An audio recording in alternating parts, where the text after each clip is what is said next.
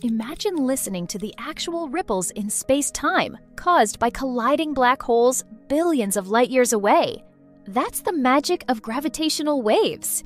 These are tiny ripples in the fabric of space time itself, first predicted by Einstein in 1916, but not detected until almost a hundred years later. So, how do we catch them?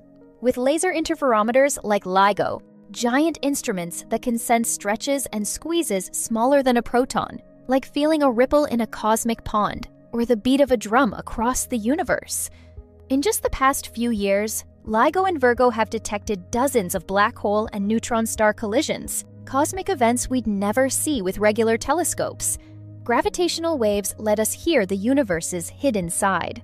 What if we could use them to look back to the very beginning of time? Stay tuned.